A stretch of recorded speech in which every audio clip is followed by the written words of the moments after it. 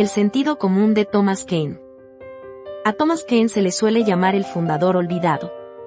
Aunque sus escritos a favor de la revolución y la democracia fueron de los más influyentes y motivadores, no fue incluido en las convenciones constitucionales que formaron el gobierno estadounidense. Sin embargo, sus argumentos, su razonamiento y su pasión son muy dignos de ser recordados. Sección titulada Origen y diseño del gobierno. En la introducción a esta obra, Paine ataca el pensamiento por tradición. Es decir, la falacia de pensar que algo es correcto o falso simplemente por su antigüedad o novedad. Paine también anuncia o concibe que la democracia estadounidense tiene la mayor importancia histórica. Considera estas líneas. La causa de América es, en gran medida, la causa de toda la humanidad. Muchas circunstancias han surgido, y surgirán, que no son locales, sino universales, y a través de las cuales los principios de todos los amantes de la humanidad se ven afectados, y en el evento de los cuales sus afectos están interesados. Como tal, el lector se siente animado o incluso apasionado por saber qué se dirá a continuación, LOL. También es encomiable como el filósofo se negó a hacer público su nombre. Por lo tanto, se le da peso a la idea de que está escribiendo con un ideal en mente, en lugar de un servicio personal. En otras palabras, que no es un sofista que busca glorificación personal. Para comenzar su investigación, Paine declara que el gobierno es un mal necesario. Es decir, debido a las deficiencias morales del ser humano, se necesita un gobierno. Sin embargo, paradójicamente, admite que el gobierno, cuando está mal constituido, puede ser el peor de los males. Considera las líneas. Cuando sufrimos, o estamos expuestos a las mismas miserias por parte de un gobierno, que podríamos esperar en un país sin gobierno, nuestra calamidad se acentúa al reflexionar que proporcionamos los medios por los cuales sufrimos. Debo señalar que la mayor parte de la obra contiene este tipo de razonamiento de sentido común, LOL. Lo anterior pasa a un relato de cómo, originalmente, se formaron los gobiernos hace referencia a la idea de un contrato social. Un intercambio de libertad por seguridad. Aparte de los daños que otros pueden infligir, Paine también señala que ningún hombre puede sobrevivir en soledad. Los seres humanos necesitan hacer un contrato de este tipo entre sí para sobrevivir. Lo considera tan inviolable como la ley de la gravedad. No es más que la naturaleza del hombre. Además, describe cómo en las sociedades primitivas el gobierno podía ser de absoluta igualdad. Uno de democracia directa. Sin embargo, argumenta, con las naciones más grandes surge la necesidad de cuerpos representativos. Me decepcionó que no escribiera sobre selección al azar. En cambio, cree que la elección popular es el único medio para seleccionar un supuesto cuerpo representativo. Al menos si subraya la importancia de la descentralización, ya que habla no solo de la necesidad del federalismo, sino también celebrar elecciones con frecuencia, porque como los elegidos podrían por ese medio volver y mezclarse de nuevo con el cuerpo general de electores. Este intercambio frecuente establecerá un interés común con todas las partes de la comunidad. Sin duda, esta llamada mezcla debe entenderse como un rechazo a las reelecciones. Más bien, como convertirse en un ciudadano común que luego se ve afectado por las leyes que el propio representante formuló. Debo aclarar que, si el representante no vuelve a la condición de ciudadano común, sino que es reelegido, entonces no se está mezclando de nuevo en la sociedad, sino que sigue siendo un oligarca. Me pareció jocoso como enfatiza la importancia de la simplicidad. Digo esto porque, además del gobierno de un solo hombre, nada sería más simple que la elección política por selección aleatoria. Allí se pueden eliminar las grietas, como dice el escritor, en las que se esconden y se filtran la corrupción y las fechorías. Por supuesto, dirán muchos, hay que tener cuidado con la simplicidad ya que lo conveniente y práctico son las piezas que legitiman la tiranía. De cualquier manera, Paine argumenta que la simplicidad es necesaria para permitir que el votante tenga acceso a que, o quien, pueda estar causando el mal gobierno. En un sistema demasiado complejo, los muchos elementos pueden culparse unos a otros y, por lo tanto, nunca se produce ninguna corrección. Nótese que esto seguramente pretende ser una crítica sutil de los pesos y contrapesos, de los poderes separados. Este razonamiento suena de sentido común, pero, por desgracia, debo discrepar con algunas omisiones. Es importante recordar la necesidad de una educación adecuada, ya que los más ingenuos encontrarán que los problemas más simples son demasiado complejos. Además, hay que tener en cuenta que la complejidad es, en sí misma, a menudo, un mal necesario. Frecuentemente, solo tras la complejidad se puede llevar a cabo deliberación y vigilancia exhaustivas. Posteriormente, Paine habla de la monarquía constitucional inglesa explica que solo un tercio es republicana o democrática. Los demás elementos son aristocráticos o monárquicos. Esto da lugar a una gran crítica abierta a la idea, al menos en el caso de una monarquía, de peso y contrapeso. Sí, considera como dice. La Constitución de Inglaterra como una unión de tres potencias que se controlan recíprocamente, es una farsa. La pregunta es, ¿Por qué tendría que existir un organismo que requiere ser controlado? Además, ¿por qué se le debería dar a ese organismo el poder de controlar a aquellos que lo controlaron a cambio? Ciertamente, dice Paine, la monarquía es completamente innecesaria y simplemente perjudicial. Necesita ser revisado por la gente, pero... Supone también que el rey es más sabio que aquellos a quienes ya ha supuesto que son más sabios que él. Es un absurdo, muy de sentido común. Seguramente, yo no estoy en desacuerdo. Sin embargo, el razonamiento deja la cuestión de si es apropiado que dos órganos democráticos se controlen y equilibren entre sí. Lo ideal, como yo lo diría, un cuerpo seleccionado al azar, y luego el pueblo en su conjunto en plebiscito. Continuando, le di la bienvenida y sonreí ante la referencia. Una casa dividida contra sí misma. Me pregunto si Lenken aprendió su famosa frase de este escritor, o si era una analogía y un estribillo común. También es jocoso como Paine acusa a los plebeyos ingleses de apoyar a la realeza y a la nobleza simplemente por orgullo, por emoción. Lo que es peor, dice que, por lo tanto, su gobierno no es diferente del de Francia, seguro por el hecho de que pretende tener algo de democracia en él. Si esto fuera cierto o no, no invalida la conciencia del daño que la emoción proporciona a la razón habla de la importancia de librar la mente de la influencia del orgullo y el prejuicio. Razonamiento muy encomiable. Sección titulada, de la monarquía y la sucesión hereditaria. Se muestra una conciencia muy original, ya que Paine no habla de la opresión o la inmoralidad como la causa de la desigualdad. Más bien, lo contrario es cierto. Dice que la opresión y la inmoralidad son el resultado de una desigualdad preestablecida. Sí, como tal, introduce conceptualmente el gran daño del nepotismo. Como corrompe la formación del espíritu humano. En gran parte, esta sección trata sobre el valor de la meritocracia. En primer lugar, los reyes, en sus espíritus corrompidos, son culpados de todas las guerras que han existido. Holanda es elogiada como prueba negativa, dado que vivió en paz sin rey. Lo más inesperado es que el filósofo se oponga a los antiguos se refiere a ellos como paganos. Se dice que de los paganos los judíos adoptaron la monarquía. Todo esto es para decir que la monarquía es la invención más próspera que el diablo haya puesto en marcha para la promoción de la idolatría. Este debe haber sido un argumento muy conmovedor. Toda la sección se centrará en los reyes, como todos los demás humanos, que vienen del polvo y se convierten en polvo, por lo tanto, no son dignos de adoración. Sí, Paine luego se extiende, con aparentes citas, para probar que las escrituras cristianas, de hecho, hablan en contra de la monarquía. El primer reto es el famoso. Dad al César lo que es del César. Dice que se trata de una reclamación legal.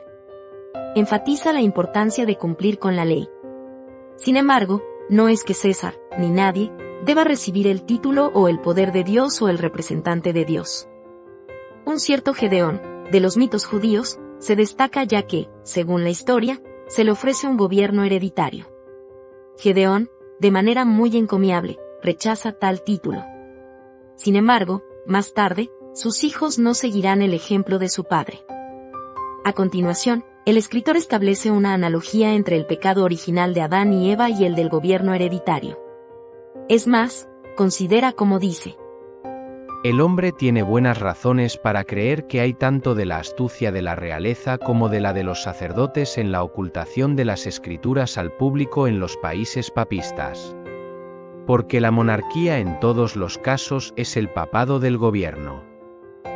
Puesto que todos los hombres son originalmente iguales, nadie por nacimiento podría tener derecho a establecer su propia familia con preferencia perpetua sobre todos los demás para siempre.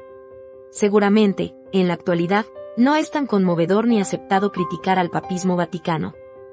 Ten en cuenta que en ese entonces Estados Unidos era principalmente, verdaderamente, una nación protestante con solo pequeñas iglesias y parroquias, no existían grandes iglesias monárquicas. Continuando, la naturaleza misma, dice Paine, prueba la locura de cualquier cosa hereditaria. He pensado durante mucho tiempo que hay que inventar una palabra, permítanme titular el término hereditorio. No puedo usar el ya existente término, hereditarismo, ya que modernos idiotas bien educados han construido una compleja serie de falacias científicas alrededor de este término con el propósito de legitimar la caída de la verdadera meritocracia. Volviendo al texto, en mi opinión, el escritor hace eco de la sabiduría de muchos filósofos antiguos cuando dice que la naturaleza, la mayoría de las veces, produce un burro de un león, lol. Hablando de la formación histórica del gobierno hereditario, el escritor indica que en el pasado primitivo los hombres no habrían adoptado tal cosa que hubiera sido ajena a todo lo que entonces se conocía. Aunque, tal vez, podrían haber elegido reyes, nunca habrían elegido uno hereditario. Eso privaría a las generaciones futuras de su propia práctica. Igualmente, ocurriría con la selección aleatoria, lo que indica que Paine sí la conoce, lástima que no la haya destacado, en mi opinión, nada podría ser de más sentido común. De cualquier manera, lo anterior es decir que la herencia es un mito inventado en una época en la que la mayoría de la gente no conocía el pasado, o no había registro del pasado. Tal fue el caso de nada menos que Guillermo el Conquistador. Es gracioso que Paine se refiera a él como un bandido. Un bastardo francés que desembarca con un bandido armado y se establece como rey de Inglaterra contra el consentimiento de los nativos, es en términos llanos un original muy insignificante y bribón. Sí, así sucede con todos los que reclaman nobleza o realeza.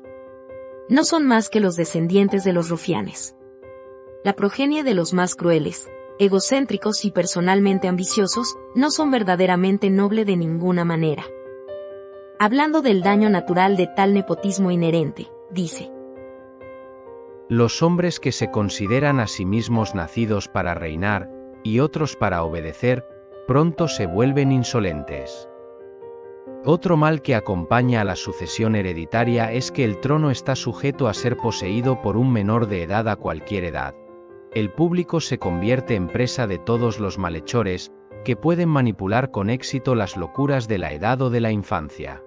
Luego se mencionan todas las guerras que la realeza ha traído sobre Inglaterra. Por lo tanto, la monarquía es la peor, no la mejor, manera de garantizar la unidad civil y la paz. Sección titulada, El estado actual de los asuntos americanos. Que se sepa que la escritura de Paine pretende ser un llamado a la acción. Pocas cosas podrían ser más vivificantes y motivadoras hacia un ideal más elevado. Sí, el ideal de democracia, independencia, autonomía y libertad. Considera estas oraciones. El sol nunca brilló sobre una causa de mayor valor.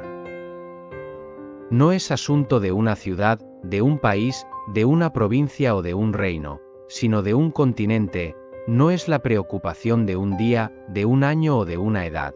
La posteridad está virtualmente involucrada en la contienda, y se verá más o menos afectada, incluso hasta el fin de los tiempos. Por los procedimientos ahora. Posteriormente se explica lo mucho que sufrieron las colonias de entonces por la servidumbre a Gran Bretaña. Se dice que las colonias prosperan a pesar de Inglaterra, no a causa de ella. Argumenta que el poder colonial solo ve a Estados Unidos como una fuente de ganancias personales. Además, incluso si Gran Bretaña fuera la causa de la riqueza de Estados Unidos, eso no significa que deba serlo. Paine argumenta. También podríamos afirmar que porque un niño ha prosperado con leche, nunca debe comer carne. Debo aclarar que toda esta sección es casi un sermón. uno con afirmaciones y órdenes bulliciosas. Considera. Durante mucho tiempo hemos sido arrastrados por antiguos prejuicios y hemos hecho grandes sacrificios a la superstición. Es fácil imaginar que, de hecho, a menudo se leía en voz alta en público, como en las tabernas. En cuanto a si las diversas colonias tendrían algo en común si no fuera por el colonizador, Paine comenta muy astutamente. Esta es ciertamente una forma muy indirecta de probar la relación, pero es la forma más cercana y verdadera de probar la enemistad común. Es decir, las relaciones familiares son más propensas a forzar enemistades contra un tercero que a engendrar amistad entre los parientes. Así siempre parece ser el caso con los no tan peludos micos. Menciona que las colonias no son de hecho, en su totalidad, ni siquiera en su mayoría, descendientes de Inglaterra. Más bien, es poblada por toda Europa. Es más, las colonias no pueden dejar de verse a sí mismas, por la naturaleza de la geografía, como distintas o separadas de Europa. Por lo tanto, el continente europeo, no un reino europeo, es el padre o la madre de América. De manera jocosa, se señala que, de lo contrario, los ingleses deberían verse a sí mismos como franceses, dado que Normandía previamente colonizó su reino. Curiosamente, el escritor habla de Estados Unidos como inclinado al mercantilismo o al capitalismo. Claramente, esta fue una idea fundacional de la nación. De cualquier manera, esto es relevante porque solo a través de la libertad de Inglaterra las antiguas colonias pueden permanecer abiertas a todos los mercados y puertos. En esto, Paine parece presagiar el no intervencionismo. Tal vez esto también debería considerarse un ideal fundacional de la nación, un ideal, tal vez como la mayoría, que ahora, en su mayor parte, está olvidado. El argumento se vuelve entonces casi místico. El filósofo habla de espacio, tiempo e incluso presagios religiosos, todos indicativos de la necesidad de separarse de Inglaterra. Considera. La sangre de los muertos, la voz llorosa de la naturaleza grita, es hora de partir. Aún la distancia a la que el Todopoderoso ha colocado a Inglaterra y América es una prueba fuerte y natural de que la autoridad de la una sobre la otra nunca fue el designio del cielo. Hay un enfoque especial en cómo se descubrió América poco después del comienzo de la Reforma. Por lo tanto, Estados Unidos era como si fuera un regalo de Dios para aquellos que necesitarían un refugio seguro de la malvada Iglesia Católica, LOL. A continuación, el escritor trata directamente con los que aconsejan una mayor unión con Inglaterra. Dice que estos son hombres interesados, en los que no se puede confiar, hombres débiles, que no pueden ver, hombres prejuiciosos, que no verán, y un cierto grupo de hombres moderados, que piensan mejor del mundo europeo de lo que merece. Estos conciliadores, como los llama en otros escritos, son considerados los peores de todos el mal equivale al daño de la falsa esperanza. Se hace referencia a la masacre de Boston, mientras que se implora al lector que no espere ningún tipo de amabilidad por parte de los ingleses. Se le pide al lector que considere si hubieran sido sus hijos, o su esposa, los que fueron asesinados y son perseguidos por los ingleses. Permítanme citar. Si has estrechado y aún puedes estrechar la mano de los asesinos, entonces no eres digno del nombre de esposo, padre, amigo o amante, y cualquiera que sea tu rango o título en la vida, tienes el corazón de un cobarde y el espíritu de un adulador. Como dije, no es tanto un tratado filosófico, sino un llamado a las armas. Lo que solía ser la propaganda. Uno que requiere humanos que realmente sepan leer, o al menos entender oraciones complejas. Por desgracia, esto ya no parece eficaz entre la mayoría de los humanos se cita al poeta John Milton. El argumento es que una isla pequeña no puede, naturalmente, gobernar todo un continente. De al mismo modo, la demora no hace más que prolongar el sufrimiento y maldecir a las generaciones futuras con una tarea más dura. Finalmente, que el rey es celoso, y que los celosos nunca deben tener poder sobre aquellos a quienes envidian. Además, se aconseja a los participantes que no se conformen con un simple cambio de ley, solo deben contentarse con una constitución y un sistema completamente nuevo. Cambiando de tema a cómo formar una nueva nación, y cómo debería ser la constitución de esa nación, Paine primero dice que el conjunto estará naturalmente unido, ya que no solo las colonias ya son lo suficientemente iguales entre sí, sino que también las guerras son raras para las democracias. En el primero se hace referencia a la pacífica Holanda y Suiza. Por supuesto, Holanda ya era entonces un sistema casi moderno, y Suiza sigue siendo lo único que se acerca a una democracia real. Sobre los beneficios de la igualdad política, Paine dice, Donde no hay distinciones no puede haber superioridad, la igualdad perfecta no ofrece ninguna tentación. Se dice que el Congreso de la Nación debe dividirse en distritos de las colonias, siendo el número total de representantes por lo menos 390. Que por selección aleatoria los estados tomen turno nominando el primer ministro. Por cierto, es esencial que haya elecciones anuales. Una vez más, el conjunto se contextualiza bajo la religión, de modo que el que está en contra de una república democrática es un siervo del diablo, LOL. Me saltaré parte de este tema porque está escrito en términos bastante vagos.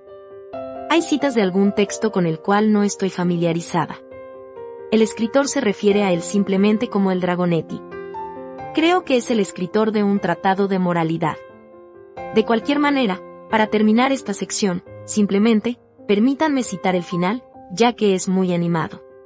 Oh vosotros que amáis a la humanidad. Vosotros que os atrevéis a oponeros, no solo a la tiranía, sino al tirano, estad firmes. Cada rincón del viejo mundo está invadido por la opresión. La libertad ha sido perseguida por todo el mundo. Asia y África la han expulsado hace tiempo. Europa la considera como una extranjera, e Inglaterra le ha dado la advertencia de que se vaya. U. Recibe al fugitivo y prepara a tiempo un asilo para la humanidad. Sección titulada, De la capacidad actual de América. En la última sección de este tratado, Paine describe el potencial de América, del Nuevo Mundo. Como era de esperar, habla del inmenso tamaño y, por lo tanto, de los recursos brutos del continente. Curiosamente, esto le lleva a insistir, profusamente, en que una América libre puede superar fácilmente el poderío naval de Gran Bretaña. Esta última afirmación se basa en el suministro aparentemente infinito de madera de Estados Unidos y en los territorios de ultramar exageradamente dispersos de Inglaterra. Aunque hay varias otras menciones sobre cómo cada nación se enfrentaría en un conflicto militar, permítanme adelantarme. Hay referencias a la importancia de la libertad de religión. Considera las líneas.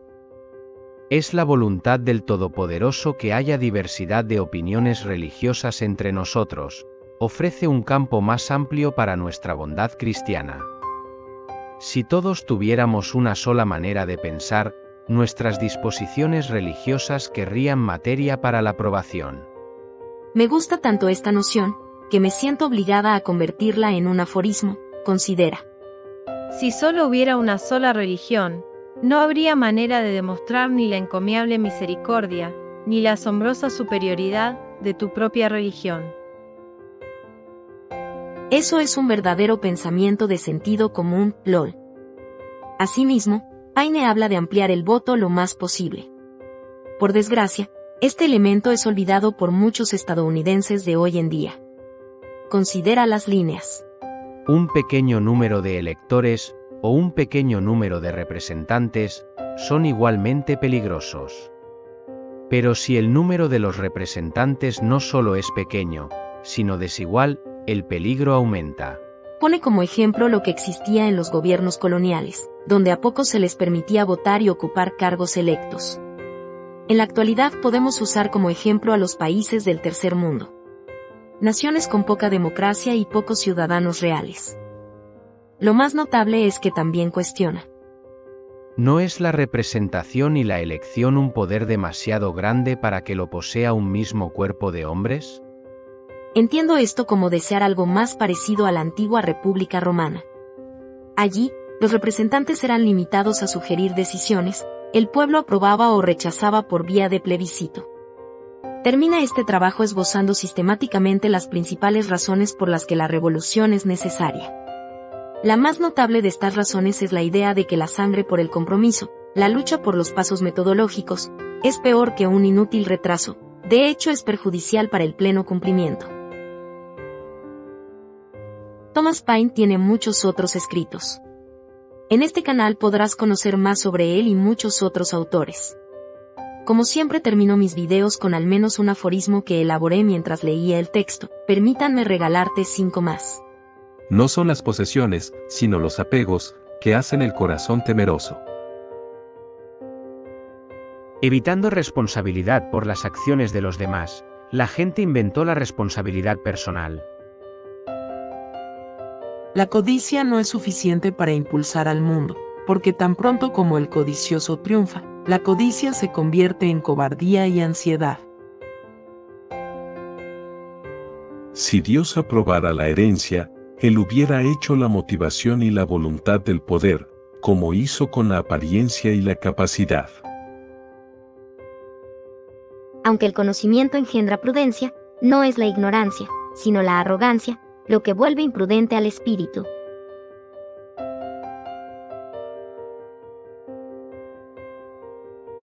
Si disfrutas o le sacas provecho a mis aforismos, que sepas que tengo miles.